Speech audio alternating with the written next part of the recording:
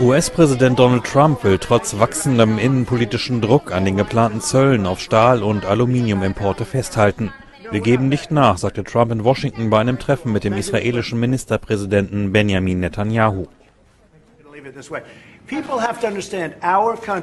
Die Menschen müssen verstehen, dass unser Land von fast jedem anderen Land in der Welt ausgenommen wird, ob es nun Freunde oder Feinde sind. Das betrifft alle, China, Russland und sogar Menschen, die wir für wundervoll halten, die Europäische Union.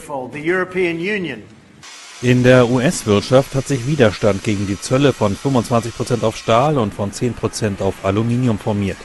Sie treibt die Furcht vor höheren Kosten und Engpässen bei der Belieferung mit den Stoffen um.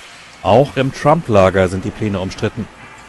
Der Vorsitzende des Repräsentantenhauses, der Republikaner Paul Ryan, äußerte sich besorgt.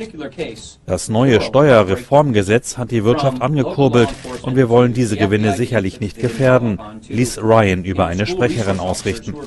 Ryan kommt aus dem Bundesstaat Wisconsin, wo der Motorradbauer Harley Davidson beheimatet ist, den die Europäische Kommission für den Fall von Zöllen mit Gegenmaßnahmen treffen will.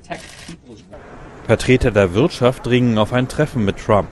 Dabei wollen sie ihm die negativen Folgen der geplanten Zölle für US-Unternehmen schildern, die Stahl und Aluminium verarbeiten, sagte eine mit der Angelegenheit vertraute Person